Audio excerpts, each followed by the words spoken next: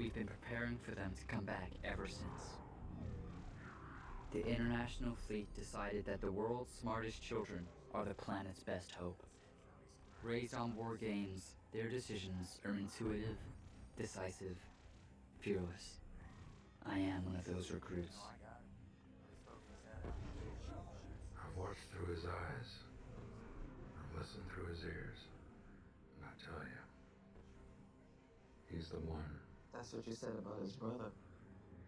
Brother tested out impossible for other reasons, nothing to do with his tactical abilities. I got Run that way. Go run. Go back. He's gonna crush him. Come on! You can't do that.